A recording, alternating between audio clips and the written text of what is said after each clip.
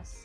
But we'll peel Yes. back all of those different layers that make you who you are, be based on geography and career wise. So I want to begin. Thank you so much for taking a minute out today.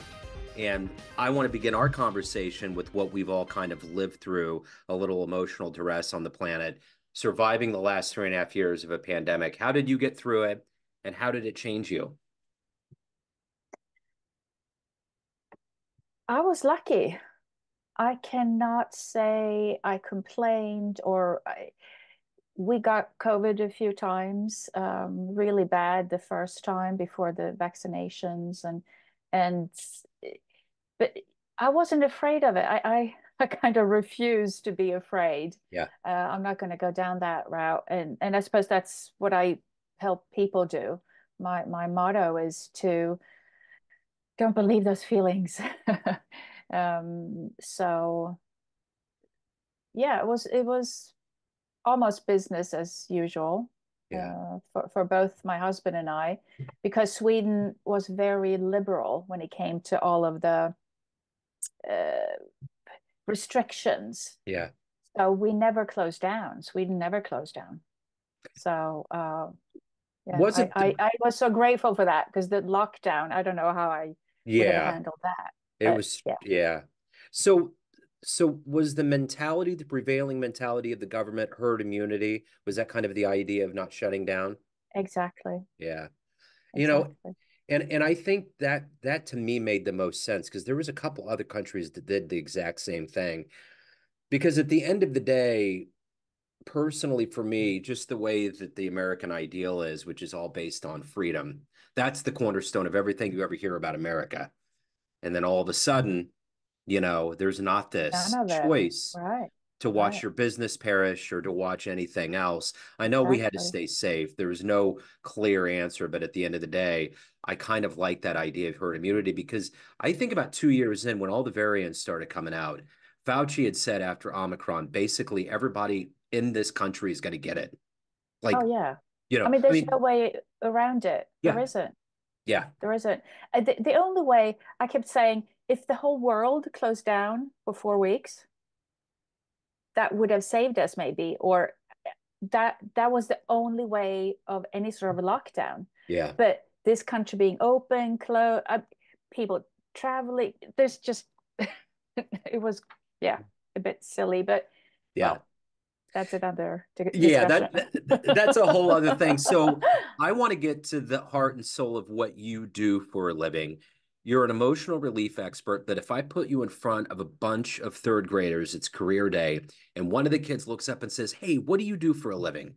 How do you answer that child? I help people get happy, not the haha happy, but Yeah. the in your soul happy. So when you're having a bad day, uh, I help people not having such a bad day. I help people not feel so bad. Uh, you cannot avoid certain uh, pain in life. That that helps us grow. That helps us realize when it is good but I help people not take difficulty seriously. Yeah. So, So, how did we get to this point? Where were you born and raised, and how did you get to this point? Because it's not just the job, you're helping people, and then you have to actually take care of yourself. So, how did the seeds become who you are and evolve into who you are today? oh, I was born in Poland, but I don't remember that. Uh, I was two and a half when I came to Sweden. My parents emigrated, and this was before all the difficulties. I mean, Poland went through some real hardship. Um, so, so dad was a bit antsy, and that's why we we came here. Uh, and, and comparatively to to a communist country, of course, Sweden was much much freer and these things that we discussed. Um, but I've always been curious. I guess I took after dad, and uh, I've been following some sort of calling, not really knowing it, some sort of passion. Mhm. I'm definitely following my intuition, and and now many years later, I'm realizing that that is what I need to teach. Don't believe your feelings, follow your intuition Yeah. and that's what I've been doing. And of course, hardships and and heartaches and um, difficulties like anyone else. I've gone through all of that. I have two children and a husband and a house and dog, cats. And yes, th- there's hardship, but don't take it seriously. And then things are so much lighter and easier and and death and and COVID, don't take it seriously. Of course, some people that come to me are afraid of dying. Yeah. Not necessarily of the death part. Some people believe in heaven and but some people actually are afraid of the dying, the process yeah. of disappear. So so even when it comes to that fear, it varies. So there are all kinds of issues that people get stuck on and yeah. take seriously. Um, and you don't need to. You don't really need to. It's, yeah. Uh, yeah there are so many nicer ways of living life. Yeah, absolutely. I agree. I agree. I mean, it's your mind is your own uh, playground that can be wondrous or disastrous, and it's a yes. muscle. You know, that's the thing that I think it that's is. very key is that it's like your body. Like you just have to condition it to get to another place. Um, I remember that movie with Jim Carrey, Eternal Sunshine on the Spotless Mind, and how he wanted to erase all of these memories of an ex girlfriend mm. and how mm-hmm. he artificially did it and how it was bad to do it. And kind of mm. the parable was, you know, we just have to deal with it, move on. And I think that's mm. just kind of the way life is. I mean, it's kind of the evolutionary Darwinian notion, you know? I mean, you have to you have to condition it. It's there's no magic pill we will die. We do have to pay taxes, most of yeah. us. There's yes. certain things in life. You might break a leg. Uh, a divorce might be better than what you're going through, etc., etc. So, so there is some pain, but but the suffering. Don't do it. Don't yeah. go there. Yeah. Don't go there. Yeah. And it's easier said than done because no one really talks like this. No one, I mean, that that third grader or or the kindergarten, the, the children aren't taught this. Yeah. Uh, we're all taught to take things so seriously. Oh, this is happening in your life. Oh, you have to do something about it. Your grades, your career. Ooh, ah. yeah. So let me ask you this: When you were in the third grade, what did you want to be when you grew up? Ooh. I didn't know back then. I liked painting, I liked crafts, uh, maybe some sort of crafty, artsy person. But mom figured that that was not a way of, of, of making a living. Yeah. so I didn't know. I mean, college was was like this big question mark for me. Yeah. So at one point I got so frustrated and I actually reached up and said, I wasn't very religious. Mom was and I actually was missing that link. I also wanted to have this connection, but I really didn't. I went because mom said we needed to. Uh, but when I got desperate, not knowing what my life should, how I should continue, um, I reached up and and I got an answer. Yeah. Except it wasn't the answer I wanted because there wasn't a college degree. Yeah in making people happy because yeah. that was the answer. I was yeah. supposed to make people happy. And the first thing that came to my mind was nurse and doctor and it, it, i felt that that wasn't it either. So many moons later and art school and um, different direction graphic designer. But that notion of of wanting to do something meaningful yeah kept following me.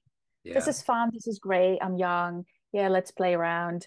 Um, a few burnouts later, a few uh, discoveries, maturing into being a parent and life. Um, and then I just didn't have a choice. I had to start investigating this this notion, this intuition. Yeah. It comes from the inside, it comes from the outside not from other people, not from, you really need to go inward. Yeah. And that is not all that fun. It's not exciting. It's not career move. It's not necessarily, can be, of course. Uh, but it's not that sexy thing that is promoted out there. Yeah. But that's you know, where the answers are. That's the thing. And I think, like you said, the answer you got wasn't what you wanted. It reminded me of there's a show that's on HBO now, and there's this machine in a hardware store that mysteriously arrived and it picks your destiny. When you go up to it, it gives it to you. And there's some people that are really happy, and there's other people that are like, oh no. but it kind of unfolds that way. And and mm-hmm. you got to tap into those things that you're genuinely good at. And it sometimes it takes a long time to figure that out. Yes. And follow, believe that that is the better way. Yeah.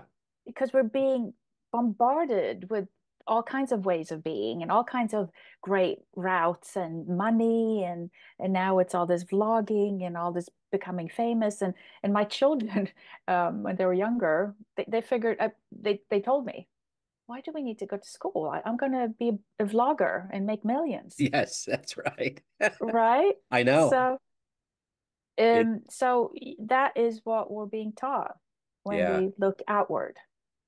Well, yeah, and that that could be a whole other thing about how education kind of grooms us to hit standards versus really absorbing this quality of being alive and things that are important. It's yeah. Yeah, that's another aspect of of, yeah. of what is being taught. Absolutely. Yeah, which is why some of yeah. these kids are like, why do I need this? But I don't think they're too young to understand that under getting fundamentals leads to other things and makes you a more well-rounded individual exactly. that can handle the things that life will throw at you. So exactly. so who's been a hero for you in your life? Oh i have so many. I don't know why joe dispenza came up as as the first name but i have so many people that i've been looking at and i don't I never understood the point of having a best how can you have a best? How yeah. can you have one when there's yeah. so many? I never understood that point of just sure. one yeah. when there are so many people. Um, and natural, healthy, um, uh, simple. Th- those are my guiding uh, notions more than a person. So and then it changes all the time. I'm, I'm constantly finding a new hero, a new person. Uh, so I don't really have any. Okay. Uh, or or I have many, too that's, many to, to. Yeah, no, and that's good. So let me ask you this. Let's kind of whittle this down a little bit. If you could meet one person alive on the planet right now and spend a little bit of time with them, who would it be? Oh, Michelle Obama. Okay. She uh um, she embodies so many things, and uh, and yet she wrote a book and stands up for her vulnerability. Yeah. My my latest niche or or my well uh, direction is imposter syndrome and all these things where people can be doing amazing things and yet there's that hole yet yeah. there's that something missing. So she she is such a great person to as an example of how famous you can be i mean pretty much as as far as you can get when it comes yeah. to fame and money and and credibility and uh and yet it's not about that. Yeah. It's about the inside. Yeah well said. So, what's your motivation every day to do the work that you do? You're actually helping enriching people's lives, helping them. You mm. also have to take care of yourself. What gets you out of bed? What helps you help them and evolve yourself as a person? I've had to say no to a ton of things. And um, I've become even more of a recluse. um, because I've burnt out so many times following my passion. Yeah. Uh, I've started all kinds of organizations and and gatherings and and I'm still being called to do that, but in a completely different way. So focusing is hugely important and saying no, not signing up for all those uh, parent uh, support groups and and um, in my organization I, I started uh, uh, an EFT tapping organization here in Sweden. It's just too much. Um, you have to. It's it's um, you have to know when to say no, and when you're excited and and passionate, you want to do it all, and that's part of the difficulty now. I help people with their sleep issues, and it's hard to relax and sleep when you're full of beans and full of passion and full of um, success programming. You do need to calm down. Um, I live very rural and I can just step outside, get the peace, get the vitamin D, uh, just sit down, not have to interact, not have to be nice, not have to help anyone. Um, and that is very important when you're a helper, that yeah. you find places where you don't have to be the helper. Yeah. So, of all of the clients that you've helped, what's one of your favorite success stories that always puts a smile on your face? Oh, well, the the one of the earlier ones that proved how amazing this is that I'm doing um, was this woman, and she had she she was so desperate to get rid of her pain, her inner pain, her anxiety, her troubling thoughts, that she was looking for a car and, and a wall. Um, she had been to all kinds of people, uh, mostly the traditional helpers, psychologists, psychiatrists, medication. Um, but a- after uh, what are the details about this?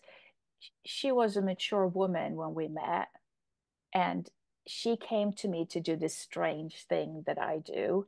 EFT tapping is still strange. You, um, but she got helped in one session, and she had been struggling for at least uh, 30 years let's say 25 to be to be generous so that wall in the car was going to end her pain. I mean, she was really uh, not doing well because she had tried to fix it and tried to fix it. And, um, so, so what I do is I, I help people go in to meet the feeling, to, to, to, to say hello to the feeling as opposed to reject it.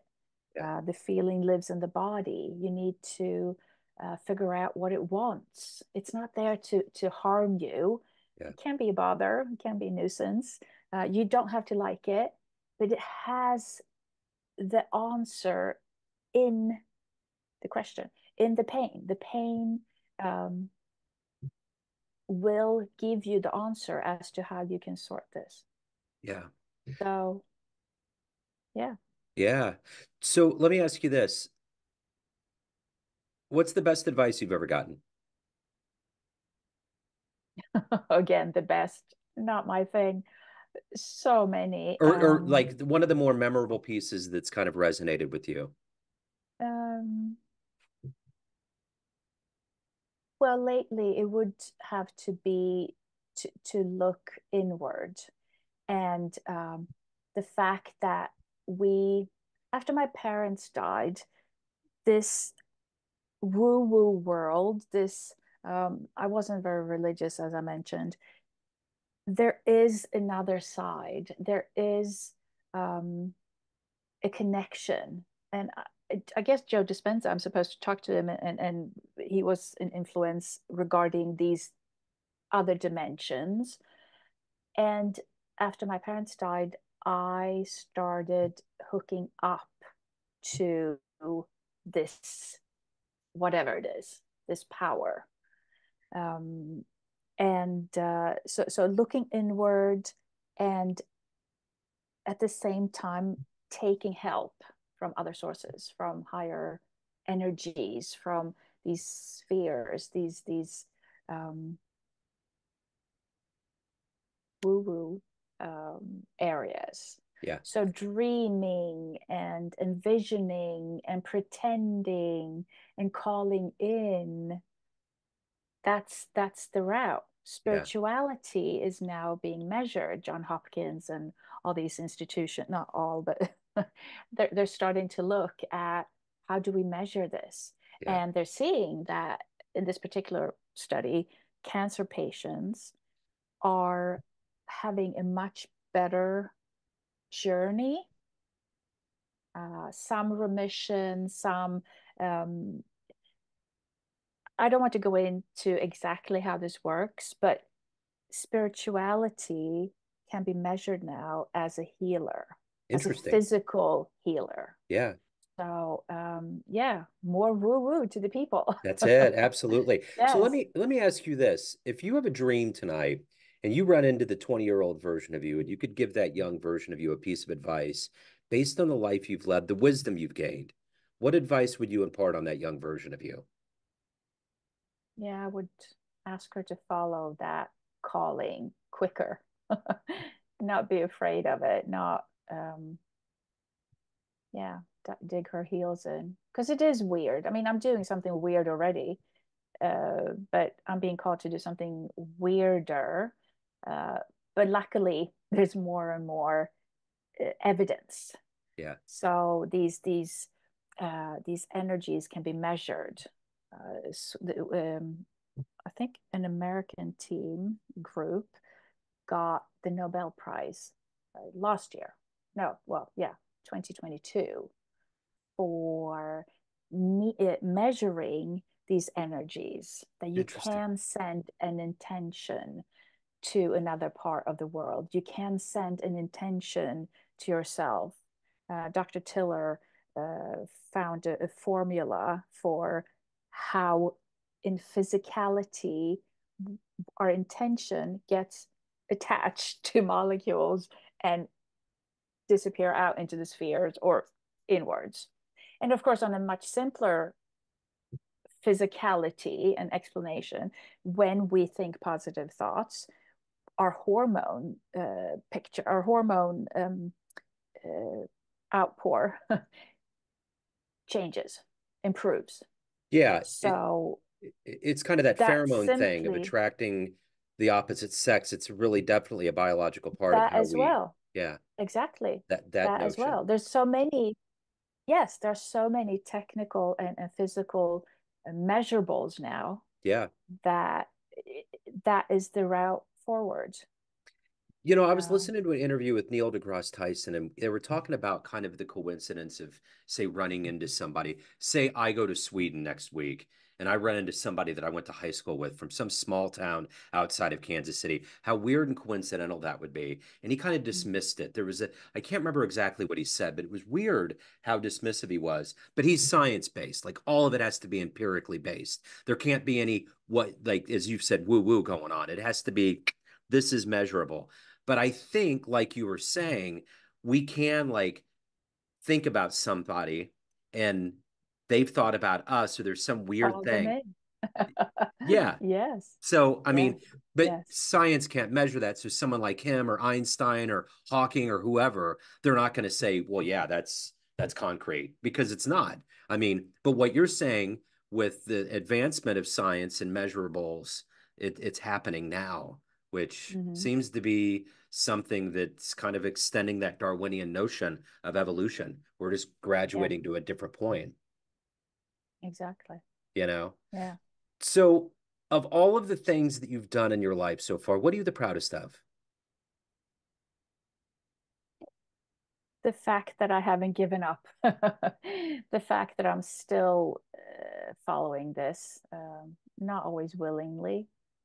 And that's why I wish, uh, in many ways, that I could have sped it up and, and, and listened to it and followed it but it is it is tricky because yeah. of all these things that you're um, taught on on the outside and in, in the real world, so to speak, that yeah. is supposedly measurable. Yeah. So so following your inner wisdom is uh, can also be lonely. And and I, I I was saying that I've become more of a recluse than ever. I've never been a group groupie of any kind. Yeah. Uh, but now um, it's it's even more important to to change my life in a certain way that and get new friends and more understanding and more support uh, from from new people, new new groups maybe or um, yeah. So okay. I'm all so, excited for 2024. that's right. Yeah. Yeah. It's a new beginning. So let me ask you this. Everyone out there has a perception of you. There's all these pockets of people. You got family, you got friends, you got your clients, but ultimately you run the show. What's your perception of you? Who do you think you are?